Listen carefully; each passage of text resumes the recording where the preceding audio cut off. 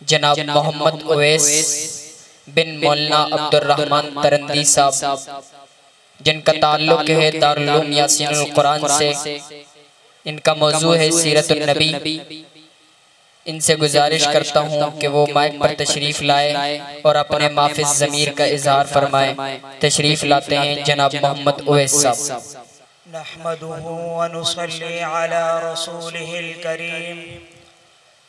أما بعد فأعوذ بالله من الشيطان الرجيم. بسم الله الرحمن الرحيم. لقد من الله على المؤمنين. صدق الله العظيم.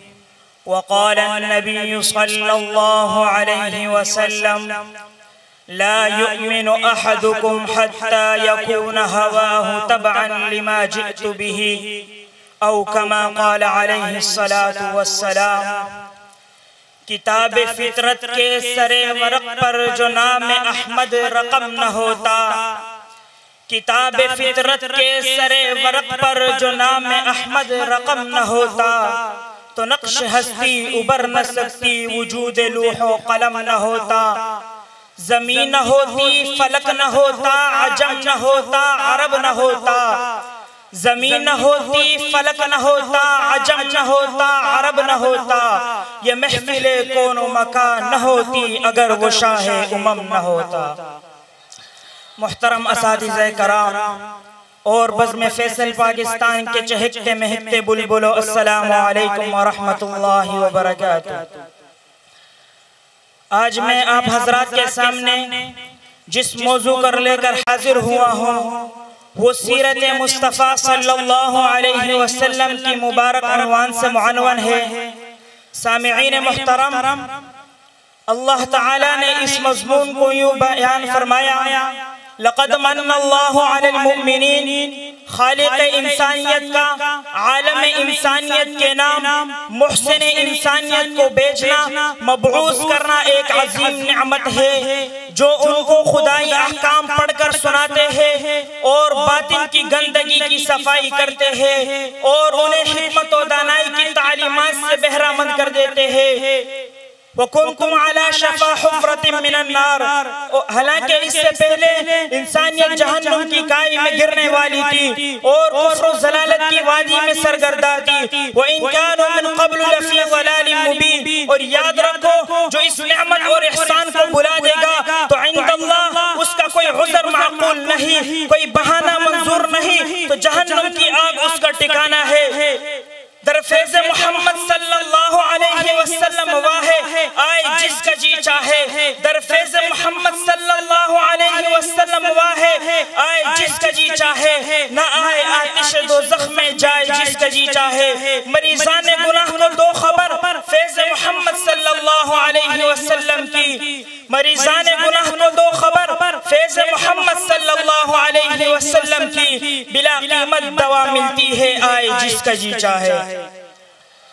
سامعین محترم آپ کی سیرت اور حیات مبارکہ انسانیت کے لیے کامل اسوہ حسنہ ہے ضابط حیات ہے۔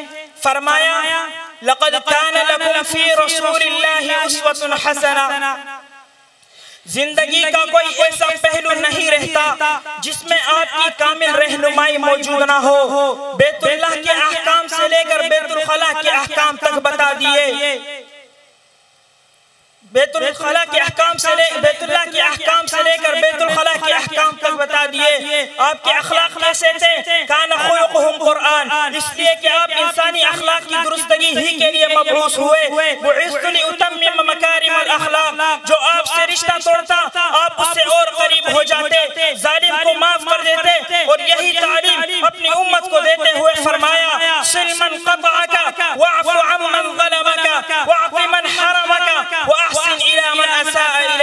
الیکا غرض یہ کہ آپ کی سیرت کمال و صفات کا مجموعہ ہے۔ آپ کی سیرت اور حیات کو اپنانا ہی ذریعہ نجات ہے۔ آج کا مسلمان ایمان کا دعویٰ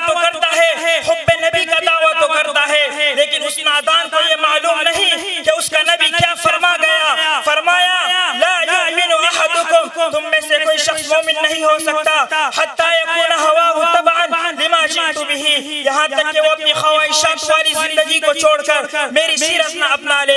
ایک مرتبہ حضرت عمر رضی اللہ تعالیٰ عنہ تورات کے چند صفحے لا کر بارگاہ رسالت میں پڑھنے لگے۔ صدیق اکبر رضی اللہ تعالیٰ عنہ بھی موجود ہے۔ حضور اکرم صلی اللہ علیہ وسلم کا چہرہ مبارک متغیر ہونا شروع ہوا۔ صدیق اکبر نے محسوس کیا تو عمر کو ڈانٹ کر کہا کہ عمر، تیرا بلا ہو، تو کیا کر رہا ہے؟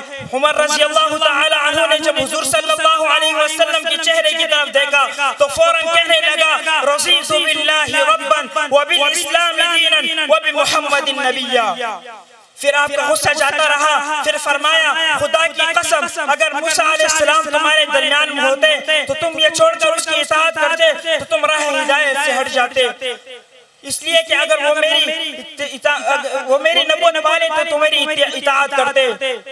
حضرت آدم علیہ السلام سے لے کر حضرت عیسیٰ علیہ السلام تک سب میرے ماتحت ہوں گے۔ قرآن نے کہا قل ان کنتم تحبون اللہ فاتبعونی یحببکم اللہ۔ کہہ دیجیے کہ اے لوگو اگر تم اللہ سے محبت کے دعوے کرتے ہو تو میری اطاعت کرو۔ لیکن آج اس کی سنتیں پامال ہو رہی ہے گر گر سے اس کی سنتوں کا جنازہ اٹھ رہا ہے۔ اس کی سنتوں کا مذاق اڑایا جا رہا ہے کہ اے مخاطب تو نبی سے محبت کے دعوے کرتا ہے۔ اس کی سنت سے قطراتا کہ تو اپنی محبت میں جھوٹا ہے، تیری محبت جھوٹی ہے۔